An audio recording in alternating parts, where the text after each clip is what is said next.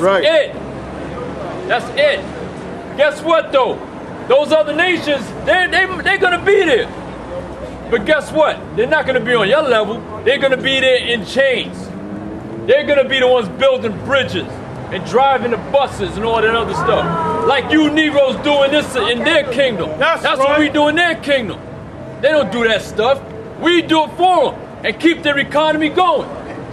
Give me that second edge of six and nine. Second Esdras, six and nine. For Esau is the end of the world. What? I, wait, I thought God loved that. I, I thought God so loved the world. Read it again. For Esau is the end of the world. Esau is the biblical name of the so-called white man.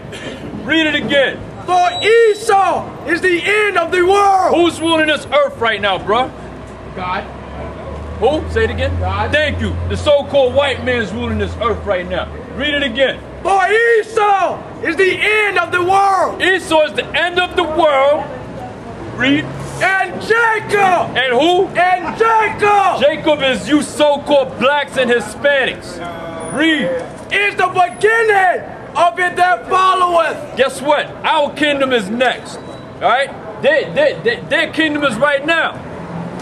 But but what happens to uh, God so loved the world? I thought God loved everybody. Why would he say that? Esau is the end of the world. Let's find out. Go. Let's let's let's break that down. John 3:16. Give me John 3:16.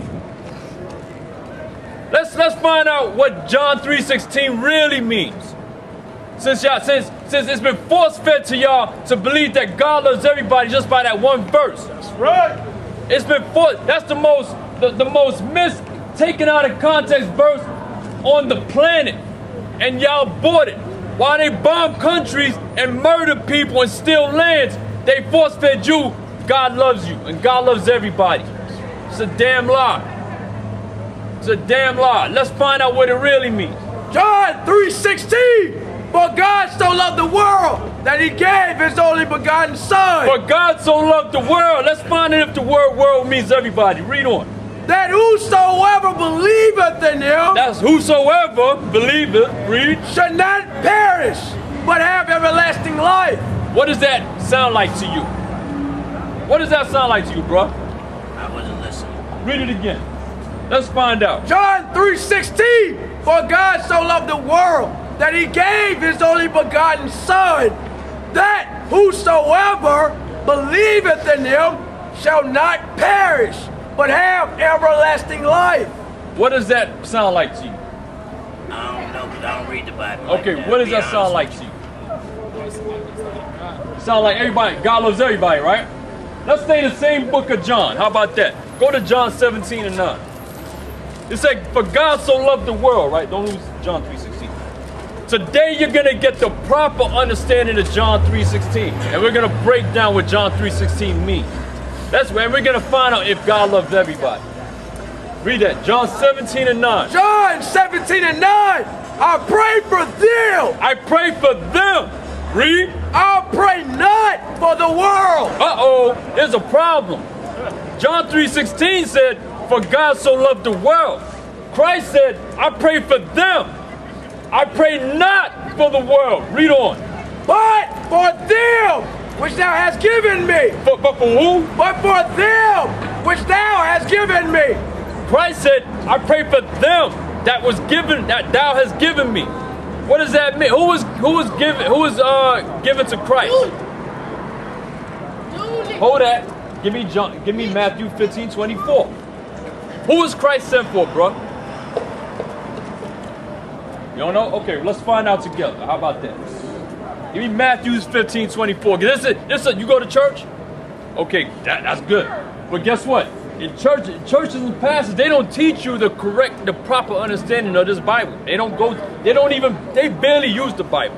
All right? But now we're going to read the Bible and let's find out. Matthew's 15, 24. Matthew chapter 15, verse 24.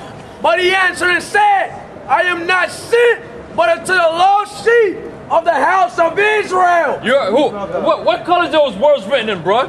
Peace. Back, back, back, up, back, up, back, back, back. got to back up. Man, I catch my own brother. No, you good. I saw him for 10 years. Read it again. Read I it can talk to again. the I mean. But he answered and said, I said, little master. I am not sent but to the lost sheep of the house of Israel. You, what does that mean, bro? This is Christ speaking. Read it again. Yeshua. But he answered and said, I am not sent but to the lost sheep of the house of Israel. What does that mean? Okay, there you go. Go back now. But church, they will never read that verse in church.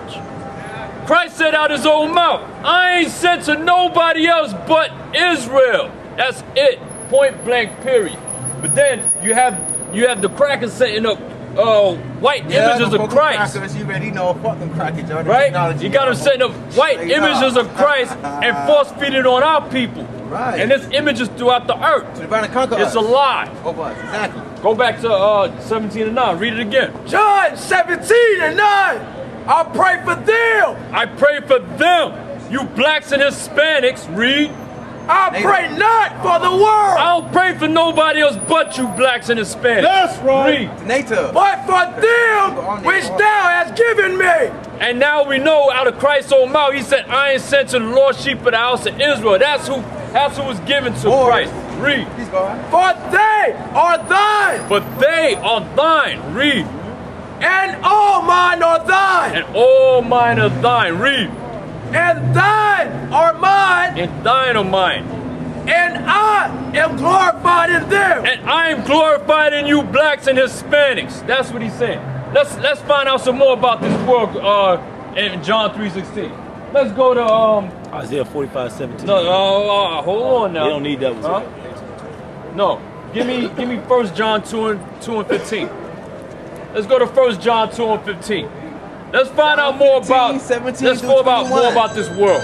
John chapter 15. First John, chapter 2, verse 15. Love not the world. Uh-oh, there's a problem. And John 3.16 said, uh, for God so loved the world. John 2 and 15 says, love not the world. Be You of ain't it. supposed to love this nasty, disgusting place filled with lust and Yes. covetousness. That's right. Oh, don't And love the world, be of it. homosexuality running rampant in these streets. Babe, I know what that Your people murdering each other. My butcher mate. Your, your, your brother's hating on another brother. Read it again. Love not the world. You hear that, bro? You ain't supposed to be celebrating Christmas.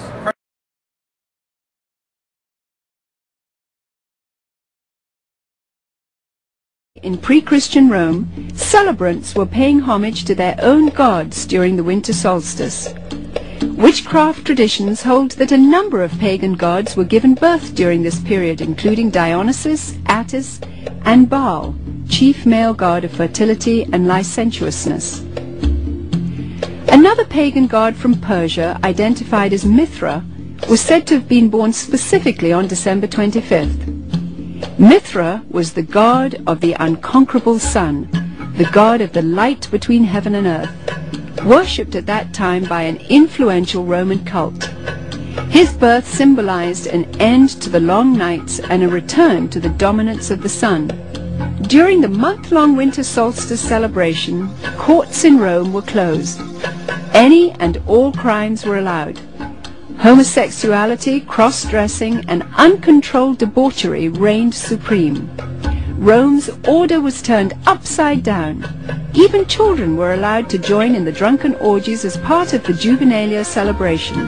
By 270 AD, the Roman Emperor Aurelian had made it official, setting aside a seven-day period from December the 17th through the 24th, culminating in an exchange of gifts on December the 25th to celebrate the birth of the sun god. This Roman orgy to end all orgies later became known as Saturnalia in honor of the god Saturn, the god of excess.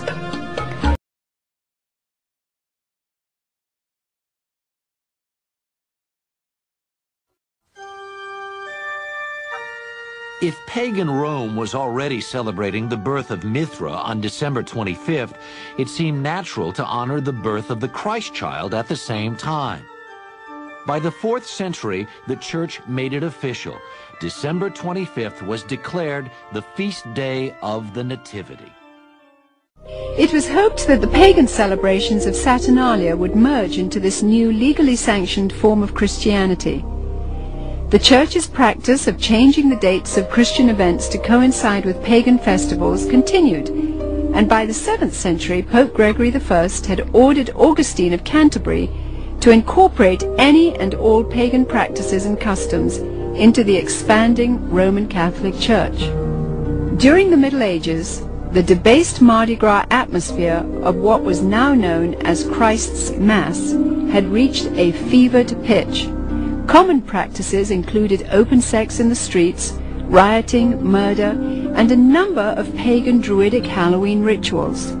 This blood-drenched celebration got so out of hand that by 1652, following the execution of King Charles I, Christ's Mass was finally outlawed in England.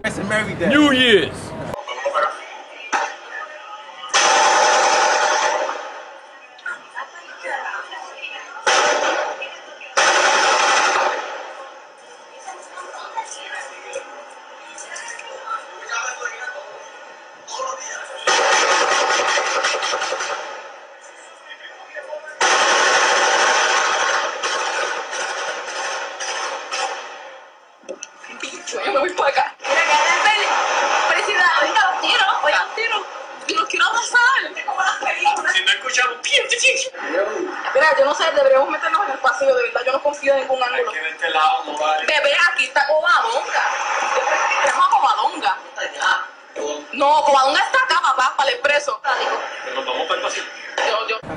Thanksgiving where they murdered all the native Indians and stole their land. And I'm a You ain't supposed to be celebrating those things. That's that's the that's the, the white man's holiday. That's not your holiday. holiday do you say? Your holidays is in Leviticus the 23rd chapter. Start again. First John chapter 2, verse 15. Love not the world, Love not the world. Read. Neither the things that are in the world. You ain't supposed to love the things that are in the world. Read. If any man love the world, If any man love the world, read. the love of the Father is not in him. You ain't got the love of God in you, bruh. if you love in the world, read that part again. I like that. Read that. If any man love the world, If any of you love the world, read. The love of the Father is not in him. The love of the, the, the Lord is not in you. Uh, read on. Whoa. Go ahead. For all that is in the world, For all that is in the world, the lust of the flesh, the lust of the flesh, you you uh fornicating, you loving all these covetous people. Read on. and the lust of the eyes, And the lust of the eyes. Read. And the pride of life The pride, you proudful spirits. Read. is not of the Father, It's not of the Father. Read on. but is of the world. But it's of the world. So John 3:16, where it says God so loved the world, is not talking about this filthy, disgusting world. All right, let's get a little more. Let's go to James 4 and 4. Let's let's keep this ball going. Let's keep the ball rolling. Let's keep it rolling. So John 3:16 is obviously talking about something else. It's not talking about everybody on the planet. For God so loved the world does not mean the planet Earth. That's right. The word world has many different meanings. How can anybody prove that it's talking about the whole planet? Somebody explain that to me. Give me that. James, let's, let's find out more about this world. Read James 4 and 4. James chapter 4, verse 4. Ye adulterers and adulteresses, Ye adulterers and adulteresses. Read on. know ye not that the friendship of the world The friendship of the world, read, is enmity with God? is what we've got. It's enmity. What does what does the word enmity mean? Anybody know what enmity is? Is- You know what enmity means, miss? Anybody? Hatred. The word enmity means hatred. Read it again from the top. Ye, uh, ye adulterers and adulteresses, know ye not Don't know this. Read on. that the friendship of the world The friendship of the world, loving this nasty, disgusting world of homosexuality, your people murdering each other and drug dealing. Read on. Is enmity with God. It's, it's hatred with God. You hate God. You go vote for Obama, you hate God. That's what it's saying right That's what there. Salma wanted you to do love, you love this world, you hate Facts, God. Not a black man. Know the That's what it's saying. Let's get some more. Let's get one more. Let's go to Hebrews 11 and 3.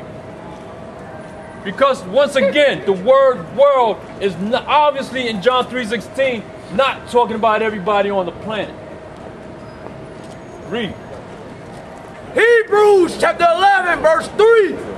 Through faith, we understand that the worlds were framed. Oh, the, the what? Through faith, we understand that the worlds, The what? the worlds, Wait, spell that word worlds. W O R L D S, It's wait, wait, that's plural. worlds. It said the word worlds. It didn't say world.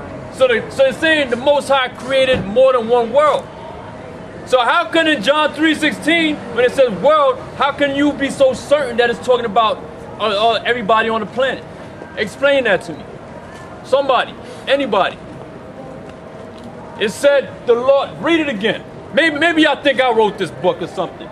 Read it again. Through faith, we understand that the worlds The worlds, plural, were framed by the word of God. Okay, the worlds were framed by the word by the word of God. So let's find out now. What is Christ talking about in John 3:16? Let's let's find out. Let's go to uh, Isaiah 45, 17. Let's find out what Christ is talking about. When he said, For God so loved the world, he gave his only begotten son. Right? Let's find out. Isaiah, you can drop that. You can drop everything else by Isaiah. Isaiah 45, 17. Christ, if you did not know, is quoting the Old Testament. When Christ walked the earth, what was he teaching?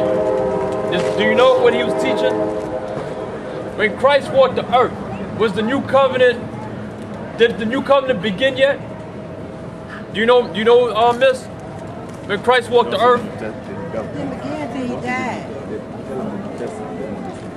It didn't begin till he died.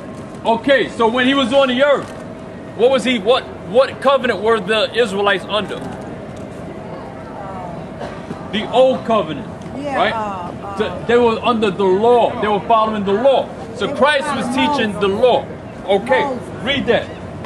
Isaiah 45 and 17. But Israel shall be saved. But who shall be saved?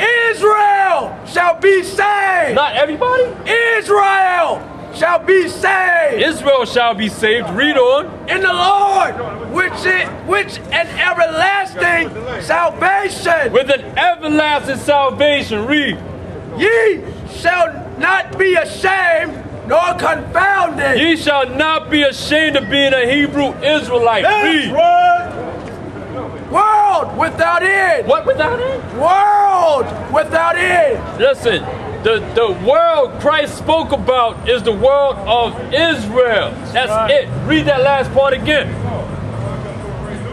This, this is what Christ is quoting in John 3:16. Read it. Ye shall not be ashamed nor confounded. Ye shall not be ashamed nor confounded. Read on. World without end. World without end for you Hebrew Israelites. That's right. That's what Christ is talking about in John 3:16. So no, God does not love everybody on the planet. That's right.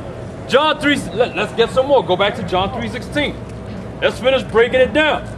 Because y'all might get uh, uh, confused with whosoever. Nah, but, but, but, but brother, it said whosoever though. It said whosoever.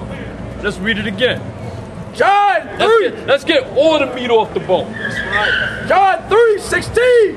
For God so loved the world For God so loved the world of Israel, read, that he gave his only begotten son his only begotten son, Christ, read, that whosoever That who? whosoever whosoever from the from the nation of Israel, read, believeth in him should not perish should not perish, read, but have everlasting life World without end, everlasting life. Give me Acts 2.21 to prove about the whosoever. Let's let's let's figure out whosoever. Because I know you Christians are stuck on whosoever. But brothers say whosoever though. Whosoever, whosoever. Y'all don't understand John 3.16. But today, you're gonna understand John 3.16. Read. Acts chapter 2, verse 21. And it shall come to pass that whosoever That what? that whosoever That what? that whosoever Here goes your whosoever. Read. shall call on the name of the Lord shall be saved. Read. Ye men of Israel, Oh, well, not everybody. ye men of Israel, What about the white man? ye men of Israel, I, I can't put the Arabs in with this. ye men of Israel. It says you men of Israel. Read. Hear these words. Men of Israel, hear these words. The whosoever is the whosoever of Israel. Not the white man, not the Chinese man, not the Arab. This book is only talking about Israel. Point blank, period. So don't let them force feed John 3.16 down your throat like they know what's going on.